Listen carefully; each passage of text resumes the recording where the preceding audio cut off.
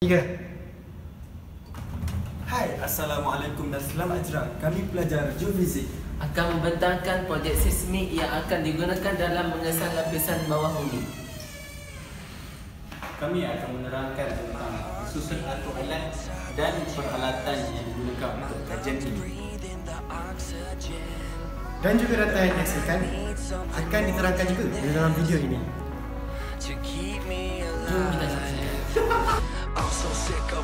Time. Living life like I'm half alive. I'm done believing these evil lies That tell me hopes and dreams have died. I can feel it in the air tonight Way up above these city lights. There's a higher calling on all our lives. Let's live to love, not just survive. Bismillahirrahmanirrahim. Okey, kita sini akan mulakan projek geofizik yang akan mengesan ketebalan lapisan bawah tanah menggunakan kaedah seismik. Dan di sini adalah susun atur alat yang akan kita lakukan selepas ini. Di sini adalah seismograf iaitu abenterameter dan ini sumber tenaga bateri 12 volt. Dan ini geofone. Stay tuned.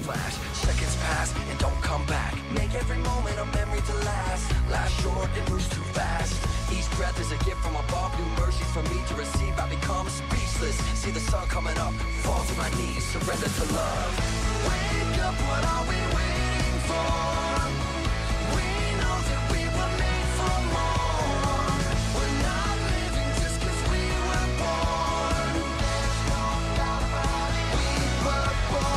Langkah pertama mengukur jarak dan langkah kedua memasang geofone dan ketiga uh, menyambung geofone ke kabel. Seterusnya, langkah keempat adalah masukkan sumber tenaga ke arah terameter. Langkah kelima adalah memasukkan kabel ke arah terameter. Dan dan langkah keenam adalah penjanaan gelombang melalui kaedah mengetuk. Langkah ketujuh, merekodkan data. Dan yang terakhir, yang ke-8, menginterpretasi data yang dihasilkan. Dan yang pertama, ukur jarak. Let's go.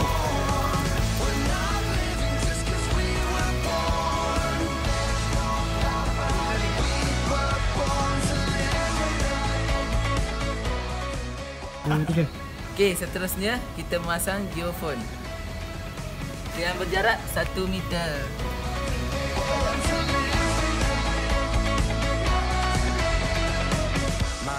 Langkah ketiga, menyambungkan kabel kepada terameter.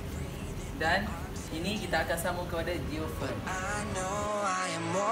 this. What's the point if we just survive? Let's come alive. Langkah keempat, sambungkan terameter ke bateri 12 volt. Langkah kelima, menyambungkan kabel ke jarak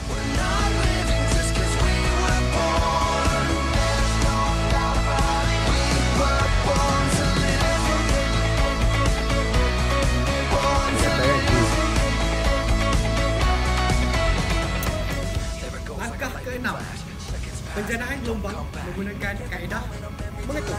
Life short, it moves too fast. Each breath is a gift from above, new mercies for me to receive. I become speechless. See the sun coming up, fall to my knees, surrender to love. Langkah ketujuh, merekodkan data gelombang oleh Abel Terameter. UKM punya biskit lagi So inilah MK6 Orang lain dah MK8 dah ke dalam Pro Jadi lah Kalau tak uh, Biskit tu lah Kena tempat dia Okey, langkah ke-8. Sekarang ini, adalah satu contoh data hasil daripada alat ABEM.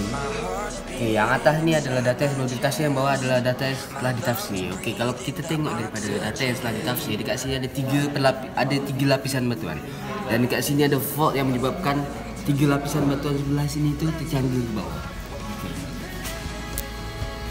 Langkah ke-9 adalah kita memplot data yang telah kita dapat dan kita membuat graf.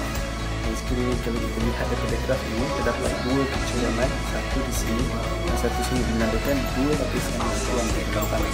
Tapi kalau kita mendapati ada dua graf yang lagi adalah graf yang sama, kita mendapati yang terdapat dua batuan di dalam tanah.